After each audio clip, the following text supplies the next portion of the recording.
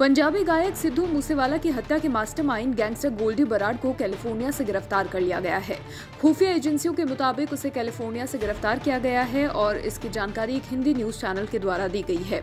हालाँकि गोल्डी की गिरफ्तारी को लेकर अभी तक कोई आधिकारिक जानकारी सामने नहीं आई है। उनतीस मई को सिद्धू मूसेवाला की बैराज में गोली मारकर हत्या की गई थी। ये रोमांचक घटना पंजाब में हुई थी। मूसेवाला की मौके पर ही मौत हो गई।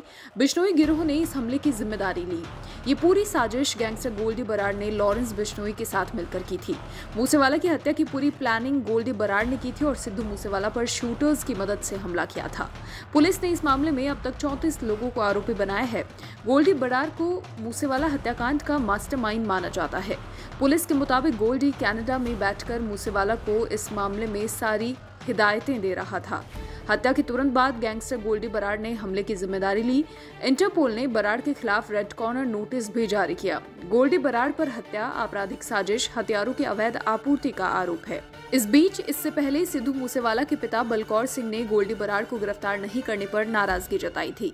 उसने कहा था कि जो भी गोल्डी का पता बताएगा, हम उसकी ज़मीन बेचकर दो करोड़ रुपए देंगे। इसके एक दिन बाद गोल्डी की गिरफ्तारी की खबर सामने आई है। हालाँकि सुरक्षा एजेंसियाँ इसे सुनिश्चित करने के लिए अमेरिकी अधिकारियों से संपर्क कर रही हैं। देश और दुनिया की तमाम छोटी बड़ी खबरों के लिए आज ही सब्सक्राइब करें न्यूज़ टैक का यूट्यूब चैनल और साथ ही फॉलो करें न्यूज़ टैक